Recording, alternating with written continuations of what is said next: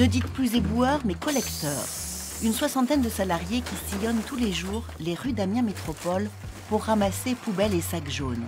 Jaunes pour recyclage. Briques de lait, bouteilles en plastique, boîtes de conserve, films plastiques ou pots de yaourt, des milliers de tonnes d'emballages ménagers vidés dans ce centre de tri dédié. Patrice, euh, mission accomplie alors? Bah oui, comme tous les lundis et jeudis matin, euh, une tonne 8 là aujourd'hui. Combien? Une tonne 8 de tri.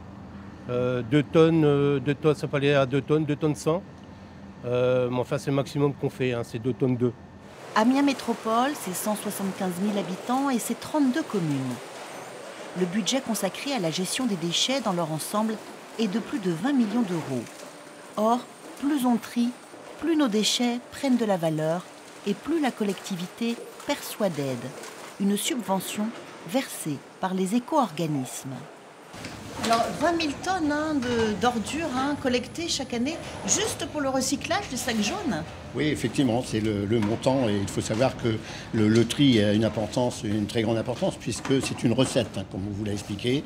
Les éco-organismes nous financent et euh, donc c'est c'est pas une dépense mais une recette. Donc l'importance du tri euh, permet bien sûr à Amiens Métropole de maintenir euh, donc la, la taxe d'ordures ménagères, la TOM, actuellement à 9,53 sur toute la durée du mandat. Ce centre de tri ultramoderne est le prestataire privé choisi par Amiens Métropole pour gérer la filière recyclage. Sur ces tapis et dans ces cribles, une douzaine de matériaux valorisables sont isolés. Un processus en 10 étapes, filmé par une caméra haute définition. Vous pourriez nous expliquer ce que vous êtes en train de faire sur cet écran tactile là? C'est-à-dire qu'on supprime tout ce qui n'est pas, euh, tout ce que la machine nous annonce. Admettons, là, elle m'annonce du PET clair. Donc tout ce qui n'est pas PET clair, il faut que je l'élimine. Donc il faut être rapide là, hein, Oui, oui, oui. et avoir l'œil. Oui, surtout, oui. Et on a environ 4 secondes pour éliminer.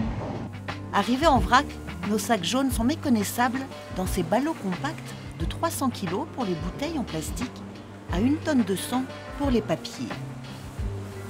Ici, 80% de la masse initiale est revendue. Les cartons vont devenir des cartons. Les bouteilles plastiques vont être transformées en fibres synthétiques, euh, en d'autres emballages de plastique.